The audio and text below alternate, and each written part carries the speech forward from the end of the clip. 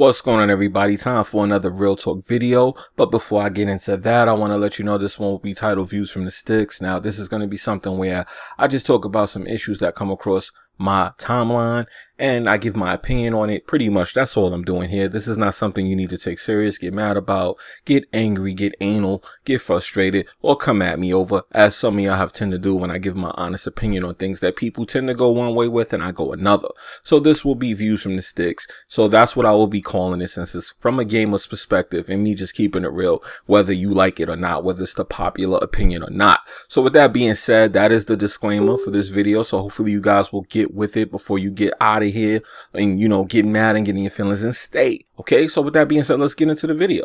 First of all, I want to say happy Memorial Day to all the people out there that are celebrating Memorial Day. Hopefully you guys are staying safe because apparently somebody that I knew who actually introduced me to social media's Twitter app was killed this week. I want to say RIP to Banga in the Troy Ave shooting. I did know that man. That man was a good dude. And uh, yeah, he was apparently shot. And I won't get into the, any further details on that. But like I said, this is views from the sticks. So I'm going to talk about random topics. Okay. So I'm trying to give you something to listen to while you are out and about or whatever you're doing. Or if you're just chilling somewhere and you want some commentary to listen to or rock to, this will be a gameplay commentary. So you could have something to watch for those of you out there want to see some gameplay. Okay. So let's start off by saying the first video that came across my timeline was about black YouTubers not supporting one another. Now, this is a YouTuber who has 600,000 subscribers. I'm not going to say his name because this is not a B video. It's not me trying to get at him, but I apparently did watch some of the video and I was a little irritated and disgusted at the first few minutes of the video. Let me turn this off because somebody's annoying me on Facebook. But anyway, I digress. Um, yeah, so he's pretty much saying in his video that uh, black YouTubers don't support one another. And I always get a little disgusted when I hear bigger YouTubers say that because I noticed a lot of successful YouTubers that are black don't support each other. But how do you get to be the guy to say it if you're one of the people that's actually part of the problem? A lot of y'all YouTubers see potential in other channels and y'all don't support them out of fear that they will outgrow you and you don't want to be the reason that they outgrow you so you don't support. Let's just keep it 100 guys. This is what you guys are afraid of. This is what you guys are doing. Y'all don't support each other out of fear that the potential for this channel to get bigger than yours is there and you see it. Now if you see that potential you won't support the youtuber and that's just how it is. Now me as far as in the music business i used to always help out up and coming artists shoot videos for them do promotion for them help them with social media because i knew that if they had potential to be somebody i could also eat off that as well. But of, of, I gotta be honest, a lot of people that I did help get to where they are when they signed their deals, they kind of just forgot about me and left me in the dust. But I was also able to turn that into something for myself as far as a resume is concerned and use that credential to get to another place where I could get a little change here and there. So there is still something to be gained from when people do that. There's no re there's no reason to actually be afraid or fear helping other YouTubers or just being supportive of YouTubers you think have potential because the same YouTuber who said this is the same guy that'll tell you he don't want YouTubers that he watch to know that he's watching their videos, but then he wants you to like and comment and subscribe to his channel. So this is why the black YouTube community in whole is a bunch of suck ass dudes. Now, I happen to know a couple of other YouTubers who said on numerous occasions that if they actually see this guy, they're going to put hands and feet on him. So he's pretty much going to get more popular and be world starred. So with that being said, I kind of find it ironic that the black gaming community in general finds a way to actually point out something about somebody else when we all do stupid shit. Now, as far as I'm concerned, me personally, I know I have a tendency to keep it a little too rugged on, on, you know, my perspective of how I react to people. So people look at me like, man, I don't know if this guy's a live wire or what. But at the end of the day, for the most part, most of y'all get it. And y'all know that I'm just keeping it 100. I'm just keeping it real. And that's pretty much what I know to do. That's the best thing to do in any situation so that if anything goes a certain way, you really have nothing to worry about if you were authentic. So with that being said, black YouTubers in general are kind of scumbags and douchebags, and I, will keep it real. I can say that I've had I've had many bad encounters with a lot of YouTubers who tend to be black, and many great and good encounters with YouTubers who were not black. And the ones that I had a bad interaction with that were not black, they were actually trying to be black. So, with that being said, maybe uh there's something with us as a general whole that we may need to look in the mirror at and just start learning how to just be authentic and not worry about having all of these feelings about where this person is going to go or what's going to happen if I fuck with this YouTuber. So with that being said, hopefully you guys could soak that in and uh, learn to just be real with yourself and stop, you know, worrying about other people and where they're going to go and what they're going to get from you interacting with them. So that's my take on the whole thing about black YouTubers and interacting on YouTube. There's a lot of fear and that's why they don't do it. So hopefully, uh, uh, we can move past that and I could go into some other topics now. Let's talk about the NVIDIA 1080. Um, apparently the NVIDIA 1080 came out this weekend and nobody's able to find one or get one. And for the people who did, of course, they did the usual price gouging. And if you go on eBay, you can find these cars for anywhere from a thousand dollars to two thousand dollars, which is kind of ridiculous considering if you have the latest card that was out before this, you get the same kind of performance damn near that you're going to get from this card, which is the main reason I'm a little bit disappointed in the NVIDIA 980 Ti. Um, I'm very disappointed in the fact that, um, the card is, uh, not stronger than uh it's not much stronger than a 980 Ti, which I get that they couldn't make it too much stronger because then people who brought the 980 Ti's, like such as myself, would probably have an issue with this car being so dramatically stronger. Just like when they say that the uh, 1070 is, is powerful than a Titan, it's not much more powerful than a Titan. Granted, for the price variant, it's an issue. I could get where somebody who spent $1,100 would be mad that a car that's less than $400 can do what their car can do. So there is more of a reason to be butthurt over that. But at the end of the day, once again, if you have a Titan, you're still good until they announce a new Titan. So with that being said, it's not really the kind of thing where it really matters on paper, but it matters as far as your feelings and your ego is concerned. So that's really up to you how you want to take that that's one of those situations where if you want to take it personal, you take it personal. If you know that your game is performing how you want it to and you're able to max out your shit, who really cares? Because you're getting the best gaming experience, which is what this is supposed to be about. But of course, once again, people like to get emotional and they like to be petty and say that I have the new card, even though your card is still as good as mine. Mine is the new card. Yours is the old card. I'm the man. You're not. As you get what I'm saying. So that's pretty much what the situation is with that. So with that being said, uh, yeah, let's move on. Now let's talk about the uh, FPS situation and the FPS scene for a second, guys. Um, currently I have been taking a break from FPS, but all over my timeline, I see you guys going ham over Overwatch. People are having shit fits and having babies. Literally, dudes is having babies out their ass over the fact that this game got a, a 10 score.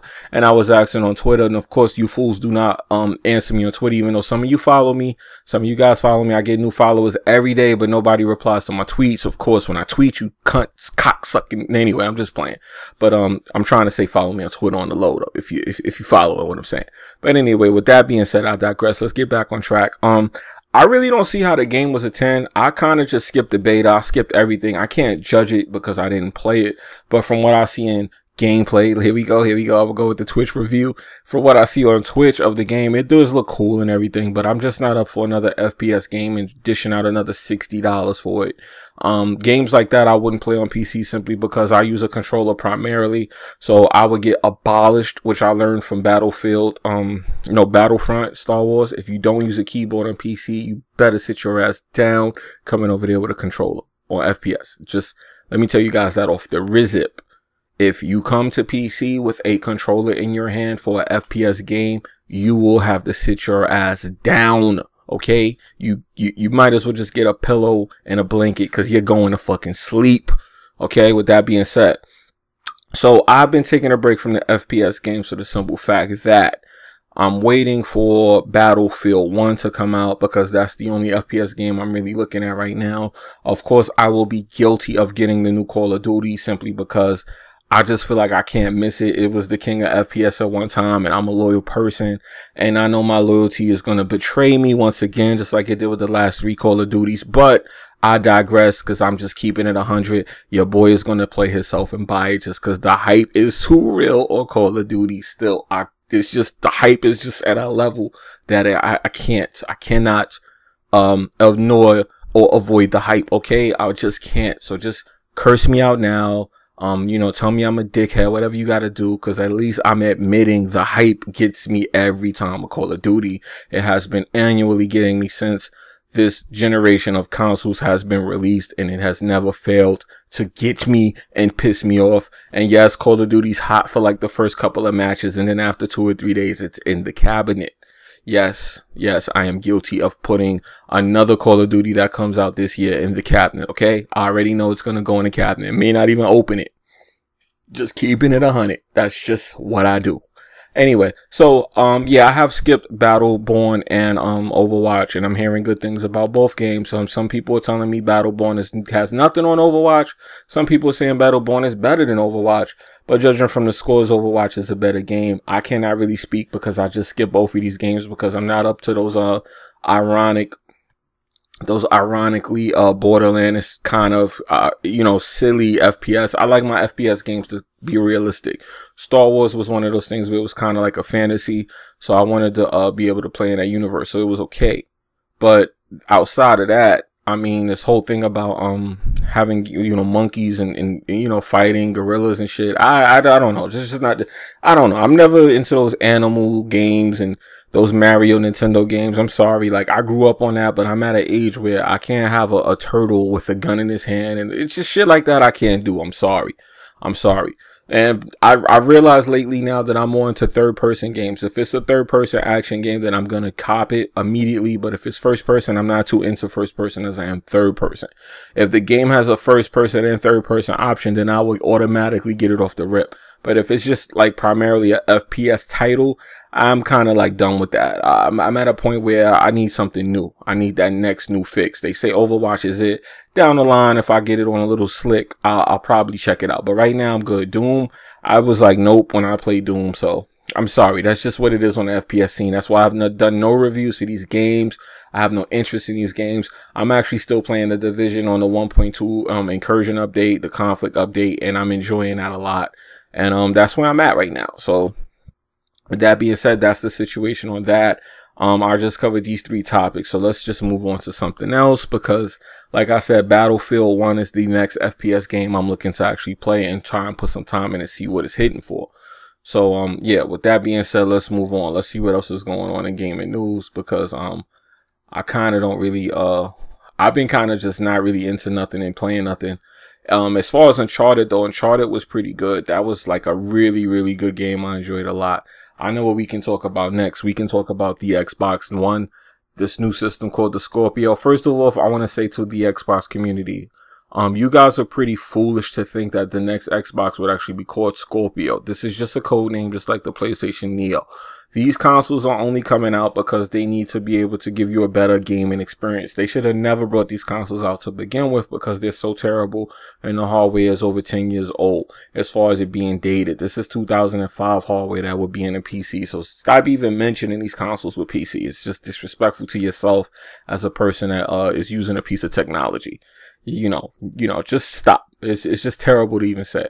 So the, uh, the next Xbox. Now they're talking about teraflops, which you guys don't understand. None of that really matters. What you need to be worried about with your next console is the HDMI port. And if it's a HDMI 1.4 or HDMI 2.0 because if it is a 1.4 then you know you're not going anywhere as far as the tech is concerned you're just getting a new con console if the HDMI port is a 2.0 then you have the 4K option available now you guys who think these consoles will be 4K more than likely it's slightly possible because I'm going to blow you guys heads away. No homo. Right now, when I tell you that the actual HDMI port that is on the current PS1 Xbox One is a 1.4, it is actually capable of 4K at 30 hertz. And for some reason, people have this in their head that that's not capable or possible of being done. Well, let me explain. You can actually get 4K on one of these consoles by simply upscaling the native resolution from 1080p to 2160p. It's just that the game won't look like a 4K game. It won't look like actual 4K, but it will be possible of attaining 4K. So don't think that with these new consoles, 4K will not be around it probably just won't look as good as PC. It probably will have moments when you will see 4K games or older games remastered in 4K, unfortunately. So are you ready for the re-remaster of your favorite titles that you just brought over? Because it's probably what you may see happening because this is the way that they do things. They kind of use this excuse that they're going to put the game out and they're going to use an old game and remaster it to say that they're learning the hard way because that's actually the excuse that they give when they do crap like that. So just be ready for it because that's what's happening. Okay, so let's move on from that because that's not actually something to talk about because the PlayStation needed a new console to help support the frame rates for the VR that is coming out, which I'm actually interested in checking out from PlayStation. But um, my experiences with the VR is something I'm not really enjoying because I don't like the way it makes me feel. Um, I feel like after about 20 or 30 minutes, I need to take that shit off. People are claiming that they're on it for hours, but um, I kind of think they're, they're, I think they're exaggerating a little bit, or they're doing stuff like taking the headset off after a couple of minutes and coming back. I don't think people are actually sitting there for hours like they said, because I don't see how that's possible. But um, that was why PlayStation needed a new system, and I understood that. But as far as the Xbox is concerned, it's just way behind the uh, PlayStation, so I guess they needed to just be able to keep up. But at 18 million consoles versus 60 million, I think it's good, to, good and safe to say that shit's over, man. All right. So, with that being said, Now let's move on to the uh, actual VR experience that um we're talking about. Apparently, reports are going out that the VR on the original PS4 is so bad that they recommend you don't even try it. Now, of course, Sony has not officially said this, but judging from the reports that are coming in from people who have tried it on the current generation of hardware, it is really bad. And this is something that is important because if you experience VR the wrong way, you will be very turned off from it and you will never want to try it again. So it is very, very important that they actually let people know this so that when people try VR, if they try it on the new, the old PlayStation, they will really hate VR. Just like when PlayStation 4 came out with their camera, that was a really bad experience. So uh, this is looking to be a repeat of that with the VR. So hopefully they fix that and they're honest with people so that people know this ahead of time. So just be warned that reports are stating that if you try the PlayStation VR on the original PS4, the experience is truly, truly uncomfortable and bad. And of course, this is due to the fact that these games are not running at 60 FPS and you actually want 90 FPS for your VR. So that's an issue. That's a big issue.